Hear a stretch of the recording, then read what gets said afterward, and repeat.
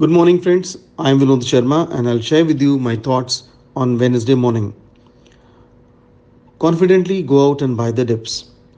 The Nifty rose like a phoenix Tuesday, powered by short covering, surging 270 points to close at 11,980.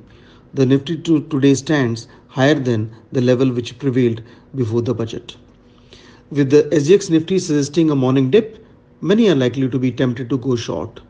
While traders can do what they want with stop losses and investors can keep their protective puts in place if they wish, but we think a bottom has been formed and the markets are in fact headed higher. What makes us say so?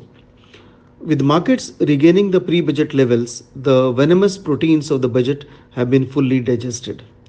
Markets have also taken note of the surge in manufacturing IIP that came Monday at an 8 year high.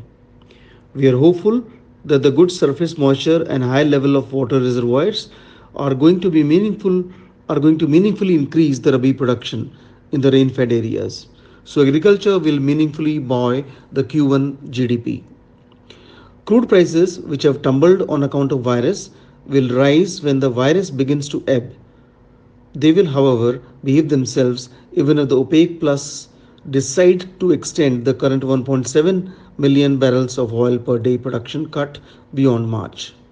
The Chinese central bank has infused a total of 1.7 trillion yuan after the lunar holidays. Global markets have been buoyed by the growing expectations that the central banks around the world will act should the outbreak of the coronavirus intensify and threaten global growth. Our proprietary technical research tells us that the bottom of 11,614 formed Monday is unlikely to be broken and the markets are in fact headed higher. The range of 12,000 12050 is a strong resistance zone for the Nifty with support at uh, 11,800. We should, uh, the market should be headed higher once the 12050 level is taken out. Asian Paints, Dr. Reddy, Infosys, Kotak Bank are likely to do well.